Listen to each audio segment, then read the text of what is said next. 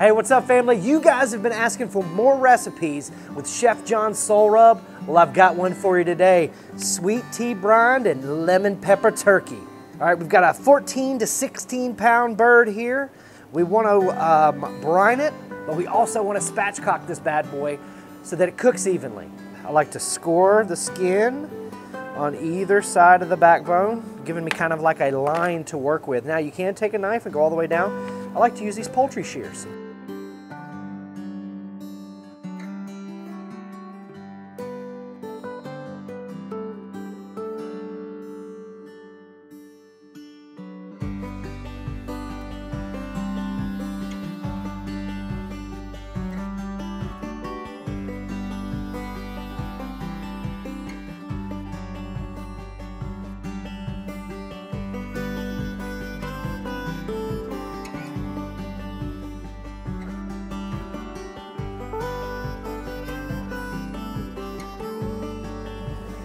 Anytime you brine your birds, you want to make sure that you pat it dry. Oh yeah, look at that beautiful dark color that that sweet tea brine is giving it.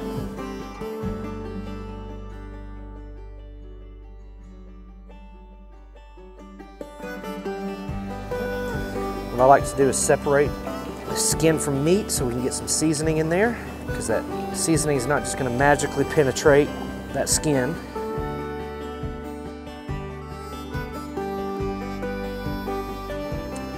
We're gonna prepare a place for this bird to sit on.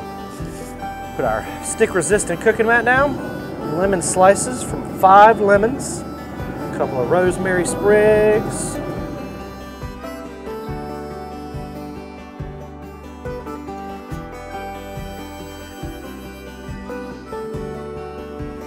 All right, we got ourselves one stick of butter there, teaspoon of lemon zest, about a teaspoon of John's Soul Powder Rub, hot lemon pepper.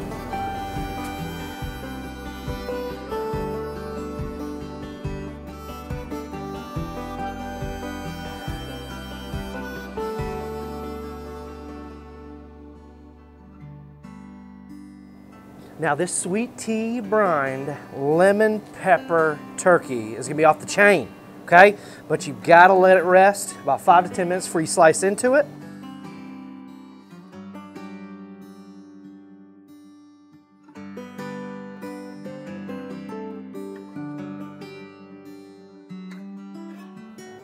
Oh yeah.